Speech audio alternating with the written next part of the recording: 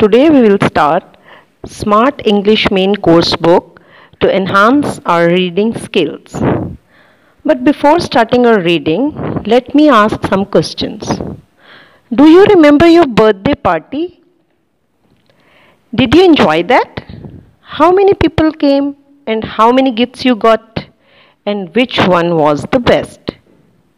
Hope, hope you got the answer. Page number 6. Our first lesson is about a birthday party. Minnie's birthday gifts. The birthday party had ended. Minnie's friends had given her many gifts. They were all wrapped in pretty colored paper. Minnie was eager to open them. After the last of her guests had gone, she helped her mother clean the room.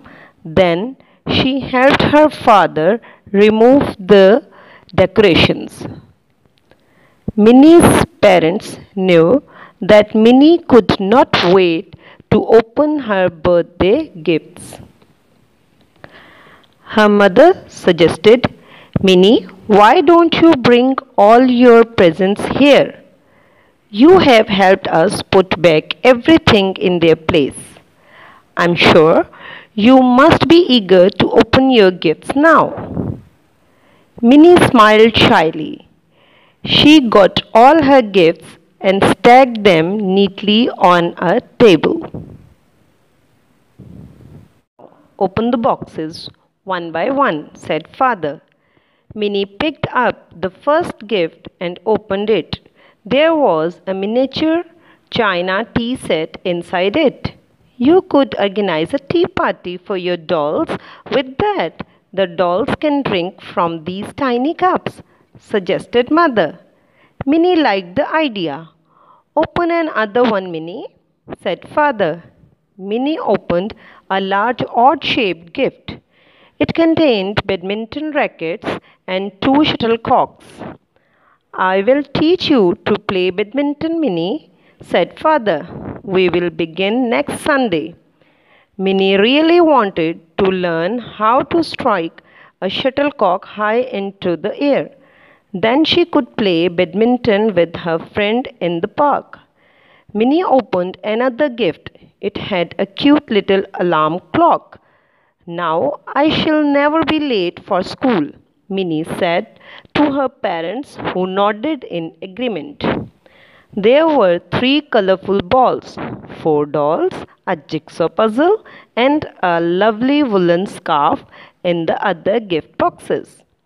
I have been watching Dia's mother knit that scarf all of last week, said Minnie's mother. Then you should thank her, Minnie, said father.